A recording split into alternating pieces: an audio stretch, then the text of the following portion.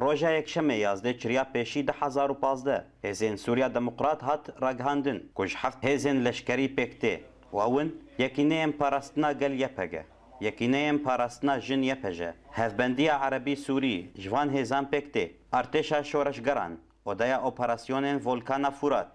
Hêzên Senadîd, Komeleya Lîwaên Cezîrê û Encûmena Leşkerî ya Suryanî. Tevahiya van hêzan bi hêzên YPG û YPJ re hevkar in di şerê li dijî rêxistina Dewleta Îslamî DAIŞ ku li Kobanê û Cezîrê şerên tund pê re kirine û di çarçoveya şerê li dijî terorê bi hemahengiya navdewletiyê bi serkêşiya Amerîka van hêzan şer kirine.